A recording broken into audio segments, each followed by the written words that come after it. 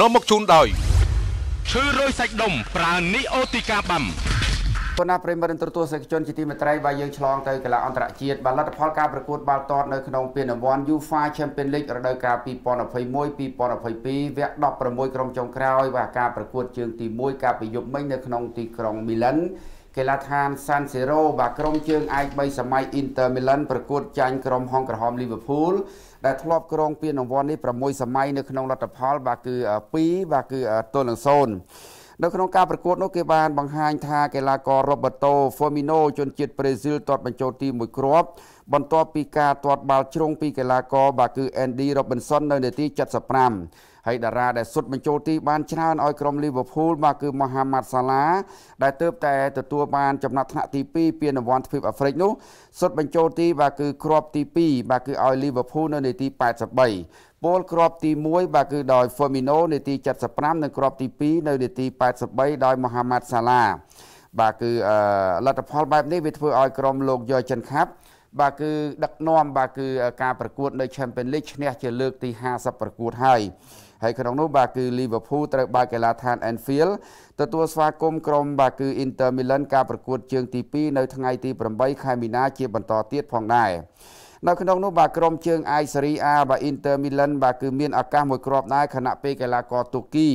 ហាកាន់បាទគឺកាដូក្លូបាទគឺទាត់ទៅប៉ះនៅរបាទីខាងលើគួរឲ្យសោកស្ដាយជាទីបំផុតតែម្ដង ហើយក្នុងនោះតា Liverpool បាទគឺឈ្នះ7ប្រកួត បាទគ្រប់កម្មវិធីតែម្ដង បាទគឺល្អមែនតែនបាទសម្រាប់ក្រុមលោកយកចិនខាប់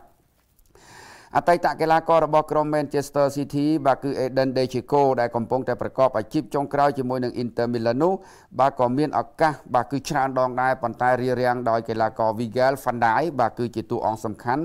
របស់លោកយើចិនខាប់ផងដែរបាទសម្ដែងកាបអសាតឥឡូវនេះជើងទី1គាត់បាន2-0ហើយ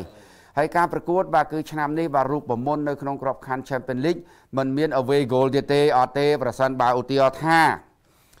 Inter Milan គាត់បលេងបាទគឺនៅ Anfield បាទបាន2-0វិញគឺថែមម៉ោងហ្មងពូម៉ាគេរាប់គ្រាប់ថែមម៉ោងហ្មង15នាទី2ដង15នាទី2ដងមិនឈ្នះចាញ់ទៀតគឺពេលនឹងទីពេលនឹងទីបាទព្រោះថាអត់ល្អមើលទេ មានន័យថាប្រសិនបើ ឧទាហរណ៍ថាប្រើរូបមន្ត away goal Liverpool ស៊ីជើងទី1 2នៅក្រៅផ្ទះហាដល់បាទគឺ Inter បាទគឺស៊ីវិញបាទគឺ2វិញបាទគឺគេឲ្យថាក្រុមដែលមានលទ្ធភាពទាត់មុននៅក្រៅផ្ទះលើកទី1ហ្នឹងគេឲ្យព្រៀប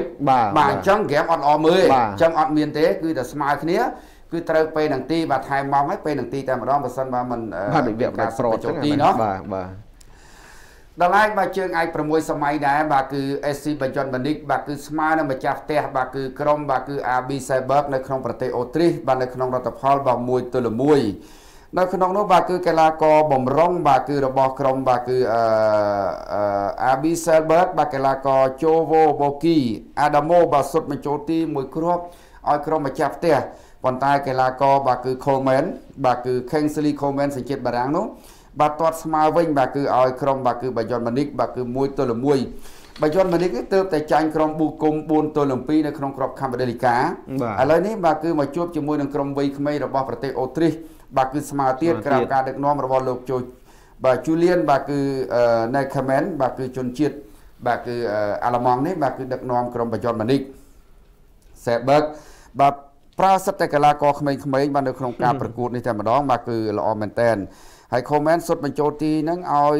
ក្រុមបាយ័នម៉ាតិកម៉ូនិកនៅនាទី90ខណៈពេលអាដាម៉ូបាទគឺនាទី21បាទសុទ្ធលឿនមែនតែនបាទសេបឺកបាទគឺប្រើសិទ្ធិតែយុវជនហើយគេសង្ឃឹមថាក្រុមនេះអឺក្រុមនៅអឺរ៉ុបច្រើនអាចតាក់ទាញគេតែម្ដងសេបឺកបានឈានមកប្រកួតបាទគឺវគ្គ16ក្រុមចុងក្រោយនេះ គេប្រកួតស្មើនឹងស៊ីវីយ៉ា1ទល់1បាទឈ្នះលីល2ទល់1បាទគឺឈ្នះ Wolfsburg 3ទល់1ហើយចាញ់ Wolfsburg វិញ2ទល់1បាទហើយចាញ់លីលបាទ1ទល់0បាទហើយនឹងបាទគឺឈ្នះស៊ីវីយ៉ាបាទគឺ1ទល់0ចំណែកបាយ័នម៉ានិកគេឈ្នះបាទគឺ AC Barcelona 3ទល់0ឈ្នះដូចដូម៉ូគេ5ទល់0ឈ្នះ Benfica 4ទល់0ឈ្នះ Benfica 5ទល់2 ឈ្នះឌីណាម៉ូគៀ2ទល់1និងឈ្នះបាសេឡូណា3ទល់0ទម្រាំឈានមកប្រកួតវគ្គ16ក្រុមចុងក្រោយ ហើយត្រូវការប្រកួតជើងទី2បាទនៅកីឡាដ្ឋាន Allen Arena បាទនៅក្នុងទីក្រុង Munich បាទគឺនៅខែមីនាជាបន្តទៀតផងដែរលោក Julian នៅ comment មានវ័យ34ឆ្នាំចំណែកលោក Matis Sally ដែលជាគ្រូ របស់ក្រុមគឺ RB Selberg ហ្នឹងមានវ័យ33ឆ្នាំនិយាយរួមទៅគ្រូទាំងពីរនេះសិតតែក្មេងក្មេងដូចគ្នាបាទក្មេងក្មេងអឺដឹកនាំបាទគឺក្រុមល្បីល្បីបាទមួយល្បីនៅអូទ្រីសហើយមួយទៀតល្បីនៅអាល្លឺម៉ង់តែម្ដង ដឡាយស្ថិតនៅក្នុងការប្រកួតនៅក្នុងក្របខ័ណ្ឌ La Liga របស់ប្រទេសអេស្ប៉ាញបាទក្រុម Atletico Madrid បាទគឺចាញ់7ប្រកួតនៅក្នុងរដូវកាលនេះពលគឺចាញ់ក្រុមបាតតារាង Levante 1ទល់នឹង0ទៀតបាទនៅក្នុងការប្រកួតនេះគួរឲ្យភ្ញាក់ផ្អើលជាទីបំផុតវាធ្វើឲ្យក្រុមលោក Diego Simeone បាទគឺធ្លាក់ចេញពីលំដាប់ Top 4ហើយខណៈពេលកីឡាករ Consolo បាទគឺ Melero បាទគឺសុទ្ធបញ្ចូលទីនៅនាទី54 លទ្ធផលបែបនេះវាធ្វើឲ្យក្រុមអាទីតកូម៉ាឌ្រីតធ្លាក់មកលេខ5ប្រកួត24ដងមាន39ពិន្ទុឡាវ៉ាន់តេឈរនៅលេខ20ប្រកួត24ដងមាន14ពិន្ទុតែប៉ុណ្ណោះហើយក្រុមបាទគឺអាទីតកូម៉ាឌ្រីតបាទឃើញថាចាញ់ជាលើកទី7ប្រកួតហើយតាមពីក្រោយបាទគឺក្រុមរៀលម៉ាឌ្រីតដែលកំពុងតែនាំមុខគេនោះគឺ15បន្ទុកมันមានឱកាសការពារតំណែងជើងឯកទៀតអស់ហើយបាទ ដល់ហើយនៅយប់នេះបាទមានការប្រកួតបាល់ទាត់នៅក្នុងក្របខ័ណ្ឌ UEFA Europa League ពានដ៏ធំលំដាប់ទី2បាទគឺរបស់អឺរ៉ុបបន្ទាប់ពី UEFA Champions League ទៅគឺ UEFA Europa League ក្រុម AC Barcelona បាទគឺធ្លាក់ចេញមកលេងនៅវគ្គ16ក្រុមចុងក្រោយបាទនៅក្នុងក្របខ័ណ្ឌបាទគឺ UEFA Europa League នេះជាលើកដំបូងហើយតាំងពីឆ្នាំ2002 2003មកមិនដែលមានទេអឺសេដ្ឋកិច្ចធ្លាក់តម្រង់លេងក៏ចុះដែរเนาะសម្រាប់លោក Xavi Hernandez បាទគឺគ្រូធំ បាទរបស់ក្រុមបាសាបាទត្រូវប្រឈមមុខបាទគឺជួបជាមួយនឹងណាប៉ូលីការប្រកួតជើងទី1នៅវគ្គ Knock Out Stage បាទគឺក្របខ័ណ្ឌទី2របស់អឺរ៉ុប UEFA Europa League នេះតែម្ដងនៅក្នុងឱកាសនោះដែរក្រុមបាសេឡូណាបាទមិនមានកីឡាករខ្សែការពារដានីអាវេសទេបាទនៅក្នុងតំបន់អឺរ៉ុបនេះដោយសារថាការទិញដូរកីឡាករនៅពាក់កណ្ដាលរដូវកាលគេឲ្យចុះឈ្មោះកីឡាករ3នាក់ទេបាទហើយដល់ហើយ បាទសិតគាត់ទិញបាន4នាក់សិតតែល្អល្អអញ្ចឹងគាត់បានចុះឈ្មោះកីឡាករបាទគឺ Ferran Torres កីឡាករ Fia Piari បាទ Emric Aubameyang និងកីឡាករ Adama បាទ Traore បាទអញ្ចឹងគាត់សុំចិត្តកាត់អឺ Daniel Alves ចេញតែម្ដងសោកស្ដាយមែនតើដែលគាត់មិនបានចូលរួមប្រកួតហើយគាត់បានបញ្ជាក់ថាកីឡាករ Emric Aubameyang គឺ100%គេបាន fit ត្រៀមជួបជាមួយនឹង Napoli នេះគឺជាការជួបគ្នាលើកដំបូងនៅក្នុងក្របខ័ណ្ឌអឺរ៉ុបបាទហើយ បាទចាប់តាំងពីធ្លាប់ជួបគ្នាកាលពី2003 2004នៅក្នុងកម្មវិធី UEFA Cup រួចមកហើយលោក Xavi បានឧទ្ទិសបាទគឺការប្រកួតនេះបាទគឺឧទ្ទិសដល់លោក Diego Maradona បាទដែលជា idol វីរៈបរោះបាទរបស់ខ្លួន ដែលត្រូវធ្វើការប្រកួតនៅ Sandio Diego Armando Maradona បាទគឺនៅក្នុងពេលតំបន់នេះខណៈពេលលោក Diego នឹងក៏ធ្លាប់សាងឈ្មោះល្បីល្បាញជាមួយនឹង Napoli 7រដូវកាលឈ្នះជើងឯក Serie A 2ដង UEFA Cup បាទចំនួនមួយដងកាលពីសម័យនោះផងដែរយើងរងចាំទាំងអស់គ្នាមើលហើយក្រុមណាប៉ូលីពេលនេះដឹកនាំដោយលោក Luciano Spalletti អតីតគ្រូធំរបស់ក្រុម AS Roma ផងដែររឿងមួយទៀត Chelsea Chelsea ធ្វើផ្លិចហើយផ្លិចអត់បានលើកទឹកចិត្តប្រាក់លើកទឹកចិត្តណាអឺឥឡូវនេះគេកីឡាករចាប់ផ្ដើមកកោកកាយលើកទឹកចិត្តមិនទៅរតនាមានន័យថា Chelsea ទើបតែទទួលបានពាន2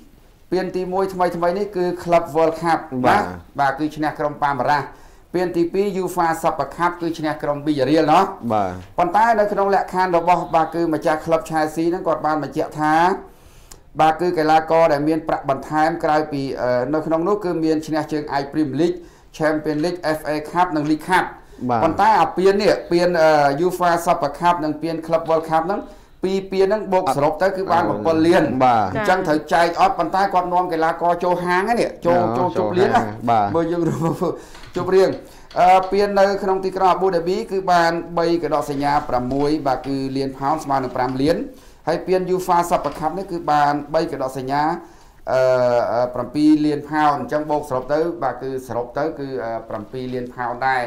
ហើយឥឡូវនេះគឺថាលុយនឹងសល់ គួរតែចែកទៀតអត់ហើយបើក្លឹបបានសន្យាថាបើឈ្នះជើងអាយ Premier League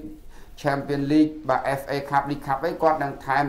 លើកទឹកចិត្តណាបាទឥឡូវបាន7លានមកទៀតហើយនឹងបាច់ទេបាទរងចាំទាំងអស់គ្នាចុងក្រោយមួយទៀតចុះបាទយើងទៅទីក្រុង Los Angeles សហរដ្ឋអាមេរិកសម្ដែងកោអសាតោទៅដល់បាទគឺក្រុម Los Angeles Rams ដែលទទួលបានជើងអាច Super Bowl អូយទស្សនិកជនចុងសប្តាហ៍កន្លងមកនេះខ្ញុំមើលកម្មវិធីហ្នឹងបាទអូកីឡាដែលល្បីជាងគេគឺ American Football នេះ NFL នេះបាទល្បីមែនតើហើយកម្មវិធីនៅវគ្គហាប់ថាញបាទសម្រាប់នោះសម្រាប់វគ្គទី1សុទ្ធតែតារា rap ល្បីល្បីចូលហើយតារាតារាកីឡាតារា Hollywood គឺថាអឺកកកតែហ្មងកីឡានេះលេខ1ឲ្យយើងយើង យើងពីដើមឲ្យយើងដឹងថា soccer បាទគាត់ហ្នឹងមែនទេបាទ football អានេះ American football នេះបានអោបអាមេរិកកាំងតែម្ដងអឺនៅក្នុងពិធីអបអរសាទរនៅក្នុងក្រស្រុកកំណើតដោយសារថាក្រុមបាទគឺ Los Angeles បាទគឺ Ram នេះបាទគឺលោកបានបាទគឺអឺយកឈ្នះទទួលបានជើងឯកនៅក្នុងក្របខ័ណ្ឌបាទកម្ពុជារបស់សហរដ្ឋអាមេរិកហ្នឹងដែលគេសង្កេតឃើញថាកីឡាករ Copper Cup បាទគឺដែលឈ្នះពានរង្វាន់ជាកីឡាករ MVP ឬក៏ Most Valuable Player បាទគឺតែម្ដងអូមនុស្សគាត់បានពាក់អាវលេខ8បាទលេខ8ហ្នឹងដែលអឺឧទ្ទិសទៅដល់ Kobe Bryant បាទបាទតារាបាល់បោះ basketball ណាទទួលបាទមរណភាពគាត់ឧទ្ទិសគាត់ថាជើងឯកដែលបានមកនេះមកស្រុកកំណើតទីក្រុងនេះ បាទគឺដោយមាន Kobe Bryant ហ្នឹងក៏នៅចិត្តយើងដែរអញ្ចឹងណាបាទហើយយើងដឹងហើយក្រុមអឺក្រុម Los Angeles ផ្នែកបាល់បោះវិញបកកាយខ្លាំងសុទ្ធតែខ្លាំងលីកនេះសុទ្ធតែស្តារនៅទីនោះតែម្ដងបាទបាទសម្ដែងការអសាទរតាមពិតកីឡាលេខ1នៅអាមេរិកណា American football នេះបាល់អោបនេះអាបុកគ្នាហ្នឹងណាបាទបាទបាទហើយលេខ2ដែលពេញនិយមបាល់បោះជាងគេហ្នឹងអឺមិនមែនទេអីអឺពូម៉ាគឺ ice hockey ice hockey ហ្នឹងក៏ល្បីដែរលើតកកណាបាទចា៎បាទបាទហើយនឹងបាល់បោះហ្នឹងហើយក្នុងបាទចំណោមហ្នឹងបាទគឺអឺអឺ ត្រឹមត្រូវពូម៉ាហ្នឹងហើយ3ហ្នឹងគឺពេញនិយមហើយបាទហើយ soccer នោះគឺបន្តផ្សំវិញទេបាទបាទហើយដែលលេខ1គឺគឺ American football ហ្នឹងតែម្ដងអរគុណប្រិយមិត្តទូរទស្សនិកជនជាទីមេត្រីថ្ងៃនេះក៏ចម្លែកខ្លះដែរបាទគឺសម្រាប់ខ្ញុំសក្ការីក្រុមការងារទាំងអស់រតនាបាទជំរាបជូនពុកម៉ែបងប្អូនតិចថាយើងត្រូវចូលរួមទប់ស្កាត់មែនតើបាទព្រោះថាការពារអ្វីដែលយើងទទួលបានព័ត៌មាននោះ កាន់តែច្រើនទៅច្រើនទៅហើយបាទបាទយើងត្រូវចូលរួមទាំងអស់គ្នាដើម្បីសុខដុមរមនាសហគមន៍របស់យើងគ្រួសាររបស់យើងពុកម៉ែបងប្អូនបាទអរគុណច្រើនអរគុណច្រើនបាទសម្រាប់ព័ត៌មានកីឡារបស់យើងនៅក្នុងវគ្គនេះយើងអរគុណទៅកាន់ Neo Tika Bam Neo Tika Bam ឈឺចុករោឆ្លប់កិច្ចហើមរមួលកំពេចរឹកលៀប Neo Tika Bam និងអរគុណដល់ខាណាសូនខាណាសូនអរកង្វល់បញ្ហាស្បែកបាទពីកម្មវិធីសម្រាប់បន្តិចសិនយើងនឹងជួបគ្នាជាបន្តទៀតនៅវគ្គក្រោយ